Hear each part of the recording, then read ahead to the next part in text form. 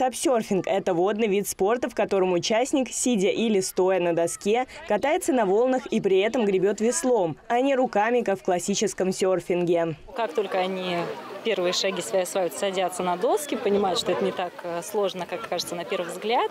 Сидя очень легко.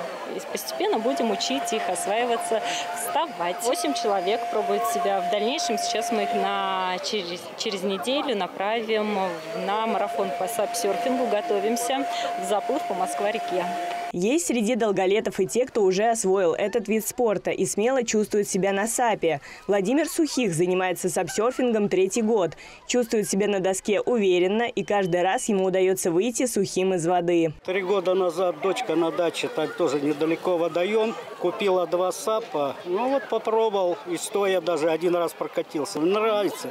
С детских лет лодки, постоянно у воды, на байдарках катался, даже на паруснике там с парусами немножко было один раз. Некоторые решились на занятия сапсерфингом впервые. Людмила Колосовская в спорте более 20 лет. И в этот раз она решила покорить водную стихию. Эмоций очень много, я спорт люблю, занимаюсь фитнес, бассейн, и все, но уже немножко приелось. Очень супер ощущение первый раз.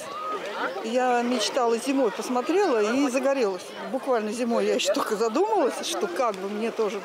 И чисто случайно как-то так получилось, что сегодня я здесь оказалась, даже для меня неожиданность.